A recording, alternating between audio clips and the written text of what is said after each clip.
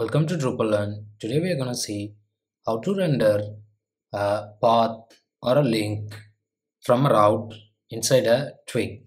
So let's go ahead and get started. Let's fire up the terminal. Let's navigate to our directory Drupal Learn. Let's also open the directory here and uh, let's click the node page. Now uh, this is a node page. So we will just render a new link here in the twig. First let's see the original twig that is rendering this node let's right click and inspect. And uh, let's just scroll over here let's start with the body content. And it should be somewhere here. Yeah. So you can hear file name suggestions. Uh, as you can see here this is node node. So the one with the star this is the one. Node.html twig dot twig this is the node that's actually this is the twig file that is actually rendering the node so these are uh, the suggestions that could be possibly used. And the actual file output is beginning from themes contrib bootstrap 5 so let's just go to the path web themes contrib bootstrap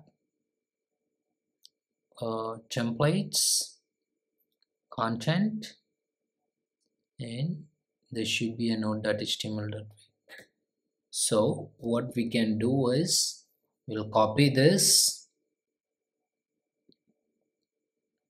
and let's log into the file site and let's check the theme that we are using right now.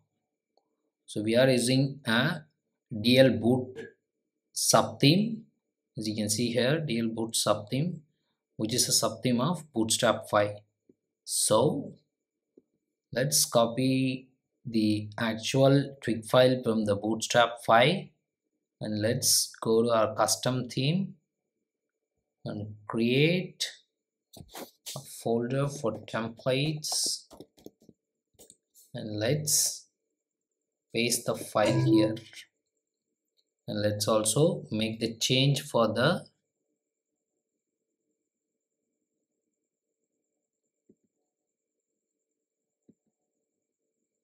file as suggested here. Let's click on the inspect. So this is an article content type.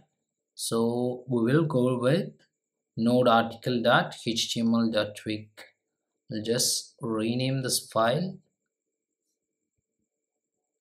Node hyphen hyphen article dot html dot twig now let's open this file. Let's set this to html uh, this is just basic stuffs uh, we don't actually need that. The thing that renders the actual content on the page is this content variable. Now let's just go back to the site. Uh, let's flush the cache so that this new template gets affected. So let's refresh this and check whether the suggestions have changed from node.html.twig to our custom template path.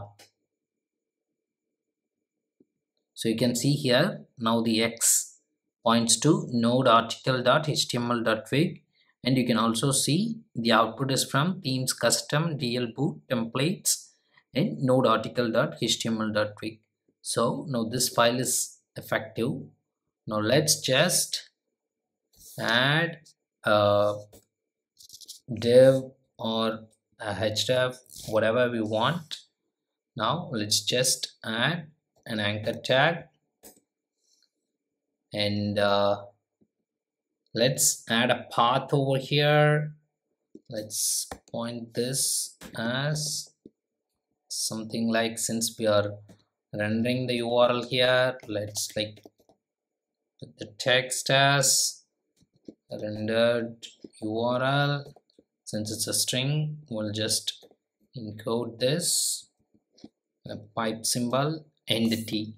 The t is actually for uh, translation so whenever like you use a multilingual site this rendered url will be translated to the uh, whatever the uh, language that you are viewing. If there is a translation that is available. Now let's get to the important part where we get to the href. Now there are two functions that we can use to render uh, route inside a twig we will see the first function over here which is nothing but path function. So let's open the braces and let's start with the path function. And let's open this likewise. Now inside this path all we have to mention is any existing routes so for routes uh, we'll just grab anything. For instance we'll just go to some core modules. Get any random path like an admin path. For instance uh, we'll just can go to dblog and we'll open the routing.yaml and uh, yeah let's just say that the link points to dblog we just copy the route here and we'll put it over here. So that will be it. Now let's go to the page and refresh it. So as you can see here the rendered url is here. Now clicking this will actually takes you to the dblog page